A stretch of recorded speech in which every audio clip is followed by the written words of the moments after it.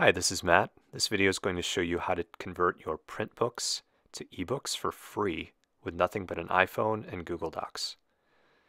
So what we're doing here is just getting a setup to take good pictures of your books. You can use natural lighting. You can just be a by a window. This is a light box. Uh, you can use a cardboard box with tissue paper. You just want to make sure you have lighting from the sides like this is because you're going to be taking photos from the top down. And here we have the book. Again, you just want natural lighting from the sides. And what you're going to do is set up your iPhone to take pictures straight down. You can use a cheap tripod or you can just hold it with your hand if you're steady. I'm using coins here just to hold the pages down. Um, you're going to want something heavy just to hold the pages flat. Okay, so what you're going to do is open up Notes on your iPhone and you're going to select Scan Document. And this interface is what it looks like. And you can see that the shutter there is being triggered manually. You can use auto, but sometimes it'll take a photo when your pages aren't quite flat and you'll get some fuzziness or distortion. So what I do here is I hit the capture button each time and just hit keep scan, go to the next page. Flip the page here, hold it down with the coin, touch that center white capture button right there. Keep the scan if it looks good, and move on. And that's all we're doing here. You can see how quickly this goes. It goes by pretty fast, so I'm going to show you a chapter here, but you could easily take pictures of an entire book this way, two pages at once, uh, within 10 or 15 minutes, depending on how long the book is. Okay. This is the last page, capture. Now what that does is it saves itself as a PDF in your notes right here. So from here, you've got everything scanned in as a PDF, but these are still images.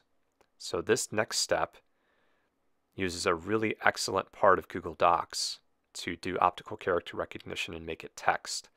But as you can see, the text comes in kind of garble different sizes. So what you want to do is what we're doing here. Convert everything to the same size, make everything the same color, make everything the same sort of text. And that's going to get you to a pretty good baseline. There's still going to be mistakes in the text. You can see here the whole thing is aligned to the wrong area. So we're also going to select all and move it to a left alignment. Now, OCR isn't perfect, especially in Google Docs, which is this free version. There's always going to be mistakes. And it's up to you how long you want to spend editing the document. If you want a good result, you might have to proofread through and at least correct some of the big mistakes like this is a number instead of an I. Uh, hyphens often get messed up. Page breaks get inserted or deleted. You can see here the title at the page and also the page numbers down below. Those often get inserted, so you're going to want to go through and delete those. You can do a kind of a find and replace to get rid of all of them. And as you can see here, I had a bad scan on one page, which is really interesting because you can see how many more mistakes is in this kind of this block of this paragraph. So I'll correct a few of those remove the italics to check the formatting. And again, you can go through and make tweaks to this. Uh, a lot of stuff online, people just convert it like right away. Um, so you'll see a lot of these mistakes crop up. Now this on the left is the Google Docs conversion. You can just do download, save as, basically download as an EPUB, and boom, you're done and this is the file you get. And you can see it's not bad. There's some mistakes. It's adding a lot of spaces. This one on the right is a conversion through Calibre, which is an open source piece of software. It runs on Mac, PC, and Linux.